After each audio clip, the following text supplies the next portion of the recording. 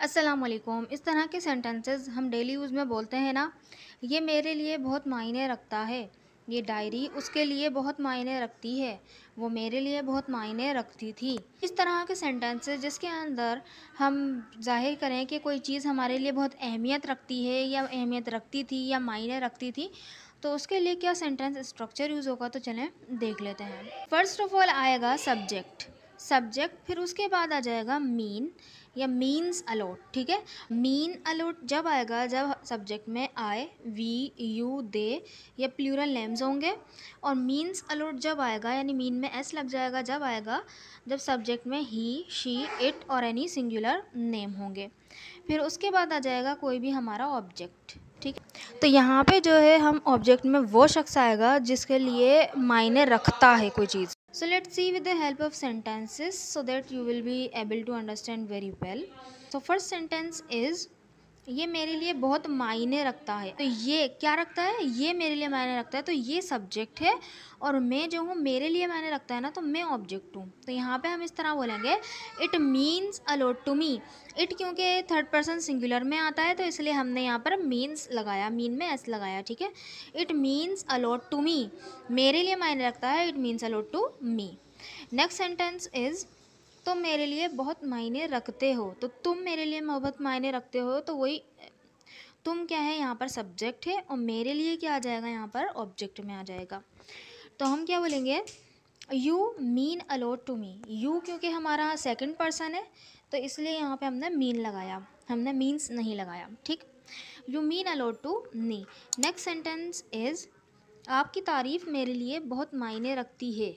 तारीफ़ यानी अप्रिसिएशन और आपकी मतलब योर तो सेंटेंस हमारा बनेगा your appreciation means a lot to me your your appreciation appreciation क्योंकि यहाँ पर हमारा एब्स्ट्रिक्ट नाउन है। एब्स्ट्रिक्ट नाउन क्या होता है? जो वो अनकाउंटेबल नाउन होते हैं यानी फीलिंग्स वगैरह को ज़ाहिर करने के लिए तो ये तारीफ़ हमें दिखती तो नहीं है, लेकिन जो है हमें महसूस होती है तारीफ़, है ना? योर योर अप्रिसिएशन इसको छू नहीं सकते, तारीफ़ को तारीफ़ को छू सकते हैं, नहीं ना? फील कर सकते हैं। तो अप्रिसिएशन क्योंकि अनकाउंटेबल है, इसी वजह से ये सिंगुलर में ही लिया जाता है। Your appreciation means a lot to me mean में एस लग गया, क्योंकि थर्ड पर्सन सिंगुलर के बाद, क्योंकि मैंने बताया था कि थर्ड पर्सन सिंगुलर के लिए हम मीन में एस लगाएँगे। Your appreciation means a lot to me next sentence is ये डायरी उसके लिए बहुत मायने रखती है। ये डायरी उसके लिए बहुत मायने रखती है। तो कौन, क्या रखती है? ये डायरी है ना? तो सेंटेंस क्या बना? This diary means a lot to her this diary means a lot to her. Is उसके बच्चे उसके लिए बड़े मायने रखते हैं। तो उसके बच्चे यानी उसी के लिए बड़े मायने रखते हैं। तो हम यहाँ पर बोलेंगे, her children mean a lot to herself ठीक है? यहाँ पे हर नहीं लगाएँगे, दोबारा से, वरना वो कोई और लड़की हो जाएगी। यानी इसके बच्चे उस, किसी और लड़की के लिए मायने रखते हैं। तो यहाँ पर हमने उसी के लिए, यानी उसके बच्चे उसी के लिए मायने रखते हैं। तो her children mean a lot to herself ठीक, ये तो हमारा प्रेजेंट यूज़ था, ठीक है? कि कोई चीज़ हमारे लिए मायने रखती है, आपकी तारीफ़ हमारे लिए मायने रखती है, ये डायरी उसके लिए मायने रखती है, उसके बच्चे उसके लिए मायने रखते हैं, ठीक है? तो ये प्रेजेंट में था। अगर हम इसको पास्ट में बोलना चाहें कि कोई चीज़ हमारे लिए मायने रखती थी तो हम बस क्या करेंगे, इतना सा डिफरेंस आएगा यहाँ पर कि मीन की जगह हमारा हो जाएगा मेंट मेंट ठीक है? मेंट पढ़ेंगे इसको। तो सब्जेक्ट मेंट मेंटलोट और फिर आ जाएगा ऑब्जेक्ट ठीक है? मीमेंट तो सबके साथ सब्जेक्ट में कुछ भी हो यही लगेगा।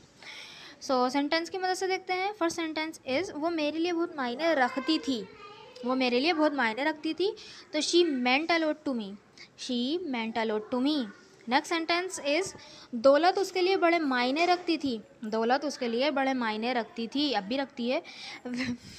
Wealth meant a lot to him wealth meant a lot to him next sentence is हर रिश्ता मेरे लिए मायने रखता था। हर रिश्ता मेरे लिए मायने रखता था, अब भी रखता है। सेंटेंस है every relation meant a lot to me every relation meant a lot to me next sentence is उसकी हर फरमाइश उसके लिए मायने रखती थी। तो हम यहाँ पे फरमाइश को क्या बोलते हैं? रिक्वेजेशन तो यहाँ बोलेंगे हम, हर every requisition meant a lot to him her every requisition meant a lot to him so I hope आपको ये वीडियो समझ में आई होगी। एक यूज़फुल स्ट्रक्चर था ये। आप अपनी डेली कॉन्वर्जेशन में इसको यूज़ करने की कोशिश ज़रूर कीजिएगा। So this sentence is for you ये गाड़ी अनवर के लिए मायने रखती है। ये गाड़ी अनवर के लिए मायने रखती है। इसको प्रेजेंट में भी बना लीजिएगा और पास्ट में भी बना लीजिएगा। इसको कमेंट बॉक्स में ज़रूर लिखिएगा ताकि मुझे पता चले कि आपको वीडियो समझ में आई कि नहीं? अगर वीडियो अच्छी लगी है तो चैनल को ज़रूर सब्सक्राइब भी कर दीजिएगा, वीडियो को लाइक भी कर दीजिएगा और हमारा एक फेसबुक ग्रुप भी है, उसको भी ज्वाइन कर लीजिएगा। लिंक मैं डिस्क्रिप्शन बॉक्स में दे दूँगी। Thank you so much.